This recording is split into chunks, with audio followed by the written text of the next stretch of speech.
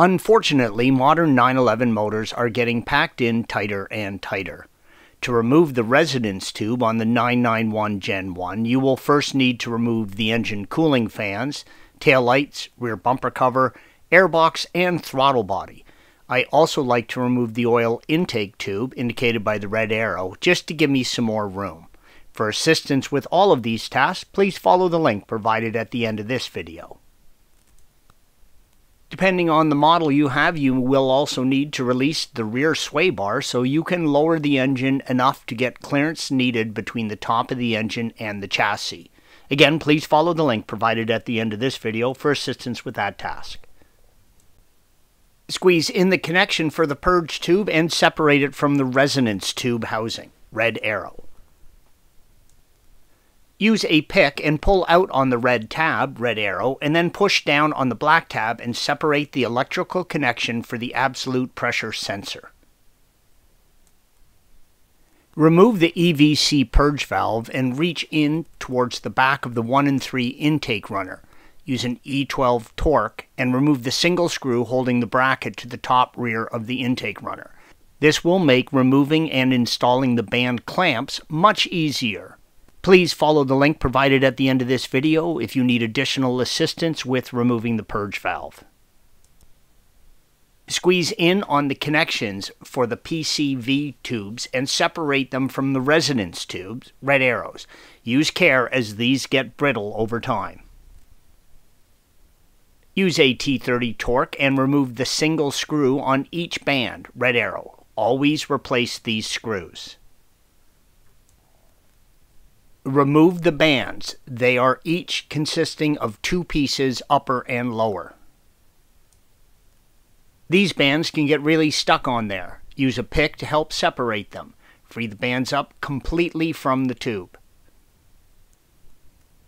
This image shows the bands connected at the rear. The top one will slip out from the lower. Use a trim removal tool and separate the gasket from the intake runners. Push the gasket completely onto the resonance tube, red arrow. These gaskets get a lot of heat sink and dry out and crack. If you are planning on doing this, I recommend always replacing the gaskets and ordering them ahead of time. Ours were so cracked and split that it was easier just to cut them off. This image shows the air gap between the resonance tube and the intake runners that the gasket seals, indicated by the red arrows.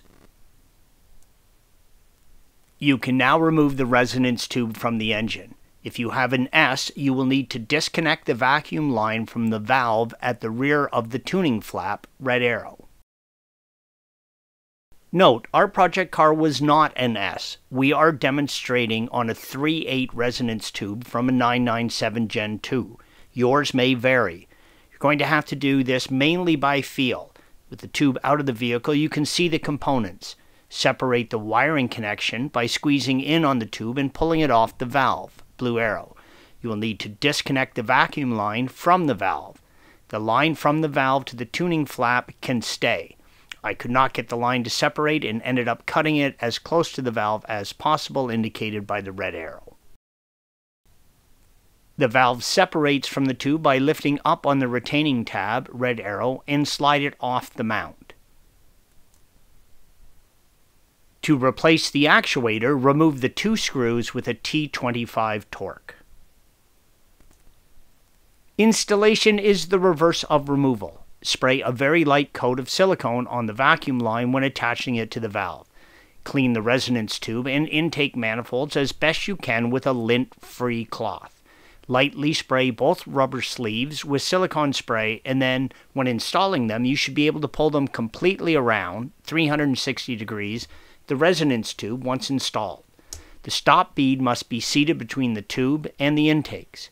Always replace the self-locking screws and torque them to 4.5 newton meters or 3.5 foot-pounds.